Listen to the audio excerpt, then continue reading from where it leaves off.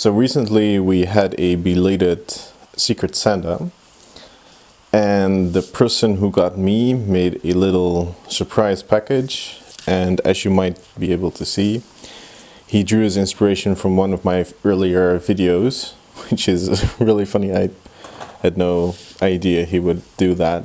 Um, so he gave me two presents. One was a USB to Ethernet adapter which was here and which obviously has the USB leads and the uh, Ethernet leads coming in and the other thing he got me was a HDMI cable, which when it's rolled up, kind of looks like an inductor. So uh, he made this the heart of the power supply with the uh, two switches going in and uh, output capacitor here. How cool is that? Well, aside from that, which was just super cool to get, uh, I also got this in the mail and uh, I was hit up by somebody username double I double NC period on uh, the Tweakers uh, website, which is a Dutch tech forum. Uh, he sent me this, which is addressed to Mux, so very good, that's my name. Um, and uh, already know what's inside, but I decided to keep the unpacking for this video. It is yeah, I don't really. A Lenovo AC adapter, which is going to be a pretty good quality power supply uh, for me to tear down. So let's go. Now, first of all, um, I get this question on literally every of my videos and all of my blogs previously, which is how do I know if a power adapter is good? what's a good quality power supply, how can I recognize it. Uh, I will be doing a full video, just like a short three minute video, uh, how to identify a good power supply, but one of the first things you can do, just by looking on the outside, is look at all these uh, regulatory markings. The three big ones always to look out for are UL, CSA, and TUV. And in this case, uh, we see two out of three. Uh, we see UL markings here and here. And we see the TUV marking here. It's in very small lettering. And one thing uh, with power supplies you want to look out for is that it says this big UL logo. Uh, sometimes this is, the UL logo is actually like a backwards R and U. I don't know why, but I mean, their choice, I guess but it has to say listed ITE power supply and it has this number here in this case it's E131881 US and that number you can punch into the website of UL, ul.com and you can get the certification of this power supply. Another thing to remark about these power supplies is um, like many manufacturers do, uh, they say this 65 watts 20 volts. And as you might know, most laptop power supplies are 19 volts or 19 and a half or 18 and a half volts. I guess this, this just works into the psychology of people. They think that 20, 19, 19 and a half volts, It's all like this really big difference and that you should never attach a 20 volt power supply to a laptop that's supposed to have 18 and a half or the other way around. Uh, essentially they're all the same. Uh, this, this voltage, there's a reason why it's roughly this voltage. It's not actually exactly this voltage because they have a slightly higher output voltage to counteract uh, voltage loss in the cables. Basically they're all the same and this is just basically marketing to make sure that you buy their own power supplies, vendor lock-in. Anyway, enough uh, banter about this. Uh, let's open it up. Again, uh, we're dealing with a ultrasonically fused outside shell. Uh, this one is probably high quality, so we're definitely going to have to use the Dremel to crack it open. Uh, we're not going to have such an easy time as with the uh, Cube i7 power supply. Well, it's actually a couple of days later, and I improved my lighting situation here. Uh, slightly moved stuff around. Also, turned off auto white balance because it doesn't work, as always. Anything automatic doesn't work. Except for automatic cars, I guess. I don't know. I guess they don't really work that well either. Anyway, I uh, Dremeled open the um, Lenovo power supply. Uh, it's really as easy, easy, as it seems. It's very messy. Uh, you just take uh, one of those ceramic cutting wheels and uh, put it at like 4000 RPM and uh, go around the edge. And then it should just fairly easily crack open. All right, it's open now. Um, and here we see what I talked about in the last video I did. Uh, EMI shielding. So here we have a couple of, this is actually a bit extra. I, I didn't realize it was in here. Uh, inside the plastic case they put these uh, aluminum foil stickers um, to do some extra bit of EMI shielding. And we have a fairly thick aluminum shield. This has two functions. Uh, it uh, does both EMI shielding, it's uh, grounded, or yeah, it, at least it's held at one potential, uh, so it doesn't radiate by itself as an antenna. And uh, obviously it also dissipates some heat, or at least it spreads some heat around so it can be more easily uh, dissipated by the plastic casing. Anyway, on to the actual teardown. there's obviously some plastic to protect the insides, which contain uh, conductive bits from the screening. And this is glued on and there is some more screening in there. So there we go, uh, we're in. So immediately what you can see and which is very typical for laptop power supplies is that almost every crevice is filled with uh, white goop to make sure that if you throw this around and if this hits the ground, that components don't just uh, wiggle around like this one, which is not quite Gangdan. Uh, they, they don't wiggle around and break off inside. So here's the uh, power supply degunked and uh, immediately we can see some interesting things going on. Um, first of all, here's the power inlet, and we see that they actually ran a wire like this to here. So uh, either neutral ground is going here, and the other side is going here into a fuse and apparently into a common mode choke, uh, which is also connected to this one. So this is where the power comes together.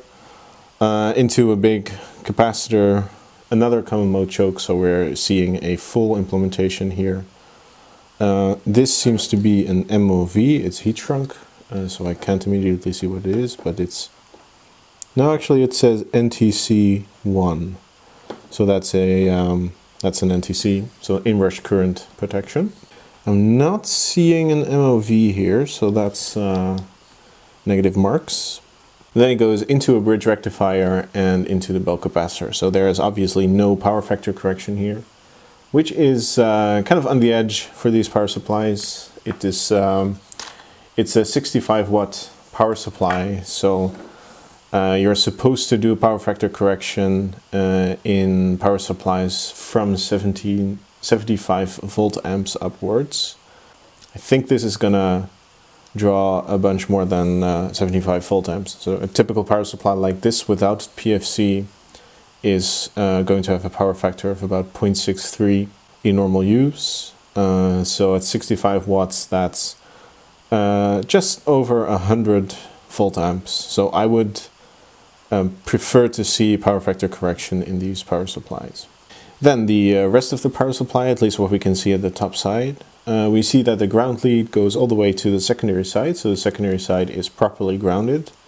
Uh, that's very good that they have a positive connection all the way to that side. Then here in between the main bulk capacitor and the uh, transformer, we can see the switching MOSFET. It's only a single FET, so this is going to be a uh, quasi-resonant converter, almost certainly. Uh, we see here that part that I'm kind of obscuring when I tap it uh, is a resistor that's going to be the current sense resistor. There's some other part here which seems to be a small capacitor, so I think that is going to be part of the snubber network. Could also be a diode. Uh, it's heat shrink all the way, so it's very hard to see. There's a tiny capacitor here that's going to be the um, low voltage power supply for the switcher chip that we're going to see on the other side. And then there's this, which is a very nice touch, a small temperature sensor that was tucked in here against the transformer, um, obviously doing some kind of high temperature cutouts, which is a very good safety feature. Something else we can see if we lift this out of the way is there's an optocoupler under there. So it's got feedback, obviously. Here on the secondary side, we see a uh, package which is almost certainly, yep, it's a diode. Two big capacitors, which are Nichicon, which is a very good brand. And they're also 105 rated, and they are I think HDM series, which I don't recognize off the bat, but I'm sure it's uh, it's a high quality brand. Uh, I think I forgot this one. This looks like a Nippon Chemicon 105 degree rated. That's funny, it says 4V. I don't think it's 4 volts. I think it's, uh, yep, I see the uh, Nippon Chemicon brand there. Uh, it's the CLA series, which is a general purpose high voltage. Aside from these capacitors, there's absolutely no output filtering, so no LC filter, which I would have liked to have seen. Uh, but they do have a current shunt here, so they do overcurrent protection. Looking at the reverse side, in general, first of all, very good solder quali quality, uh, just excellent. It's obviously wave soldered. Um, even the connections to the um, this is the earth connection and this is the positive and negative output uh, connection they seem to be hand soldered but hand soldered very well uh, solder is shiny which is interesting that would mean uh, we're dealing with leaded solder aside from that we see uh, these little spacer rubbers also I uh, just saw the UL marking and uh, let me just put this on the screen Kunshan Wanjing printed circuit board co-limited in Jianding Economic Development Zone in Kunshan. I don't recognize where that is exactly. Uh, I've only been in a couple of places in China. Uh, here is the fuse, and it's very nice that they made the effort to put in an isolation slot so that if the fuse breaks, there's no chance of arcing over uh, over the PCB when there's like dust or grime. Uh, very good. Uh, again, we see here's a common mode choke and we see the high voltage um, spark gaps. Kind of okay. I don't really care much for them. Bleeder, uh, bleeder resistors on the um, uh, filter cap. And going into the uh, diode bridge here. And then of course to the meat of the operation. And here we see, okay, so this is interesting, um, just looked it up. This chip is marked DAP8A. Uh, that's actually uh, shorthand or some, some kind of manufacturer specific marking for the NCP1200, which is um, a current mode controller for low power universal offline supplies. It's very interesting to find these uh, very, very rock bottom um, low-end chips in these power supplies. And actually, it's still a brand name. It's an ON Semiconductor um, brand chip, uh, but it's like 10 cents or something. Uh, there are much more expensive controllers available. Uh, also interesting to note is that this is actually uh, supposed to work offline, which means it works off the mains directly which means you don't need an auxiliary power supply, but it still has an auxiliary power supply. So a couple of Zener diodes. This is quite complicated to go through, uh, so I won't. Uh, basically, it's a quasi-resonant converter. On the secondary side, let me just flip it over here. Uh, we have an ST, this is an STDAS001, which is basically a dual op amp. Uh, and they obviously use this for um, overcurrent protection. So they have some kind of voltage divider that they uh, compare to a uh, the current shunt, which is here. So here, between here, that goes into some kind of op-amp configuration and um, they have the second op-amp usually configured uh, as a comparator. Uh, so it goes um, completely shuts off the power supply when overcurrent is uh, hit. And aside from that, uh, this is obviously a TL431 um, reference that they use for the voltage feedback to make sure that the output is exactly 19 or 20 volts or slightly above. Also nice to note is that uh, I'm seeing a ferrite bead here, so it's not true that they do absolutely no uh, output LC filtering. They have a ferrite bead. They actually have a second ferrite bead here uh, that apparently kind of connects the same way around. Yeah, this is um, this is the output, the positive output of the transformer. Goes through a ferrite bead into the diode, and then through another ferrite bead into the uh, capacitor. So they do some uh, high frequency noise filtering on the output. So that's basically all I can say about this power supply and um, I'll quickly go over through two frequently asked questions. First question, can you test these power supplies on a uh, like on an electronic load or can you see the oscilloscope pictures of the output ripple and that kind of stuff? Uh, the answer is no, not yet. Um, I am in the process of building a power supply tester uh, and this will be done in about a month's time. Uh, however, currently it's not available to me.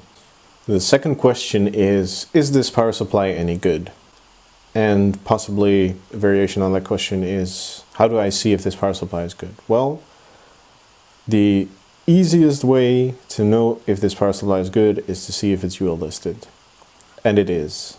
Everything in it is UL listed. It's using good quality components even if I have some remarks about uh, badly placed sticky pads and no PFC and that kind of stuff, it's still compliant, which means that people have thought about it, people have looked at it very carefully and seen that there is basically no big hazard in this power supply and there is no way for that hazard to arise either.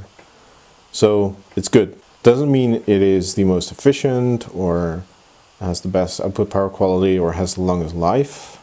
Uh, it just means it's good, it's safe to put uh, in your mains power supply. So that's it for this time. Uh, see you next time.